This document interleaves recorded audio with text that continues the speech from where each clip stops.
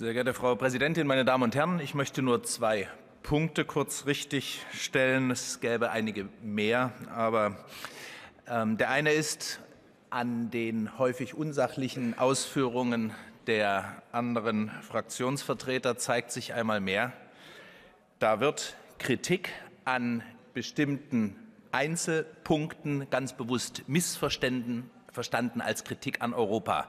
Nichts ist falscher als das.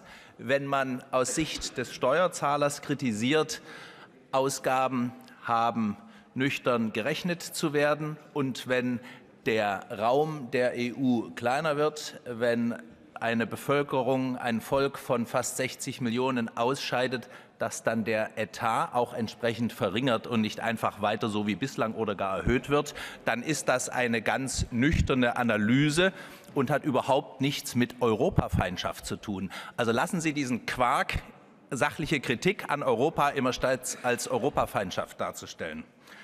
Und der andere Punkt, wenn ein Herr Oettinger, EU-Haushaltskommissar aus Deutschland, trotz des Brexits einen Etatentwurf vorlegt, der deutlich, einen deutlichen Anstieg der Ausgaben vorsieht und dabei noch äußert, dass auf Deutschland pro Jahr mehr Ausgaben in der Größenordnung von 11, 12 Milliarden Euro zukommen werden, dann ist das ein Punkt, den man sehr wohl kritisieren kann und sollte. Und jetzt mache ich mir mal den Spaß, mich hier bewusst auf den österreichischen Bundeskanzler Kurz zu beziehen, der gerade das kritisierte und festhielt, die EU nach dem Brexit sollte schlanker, sparsamer und effizienter werden.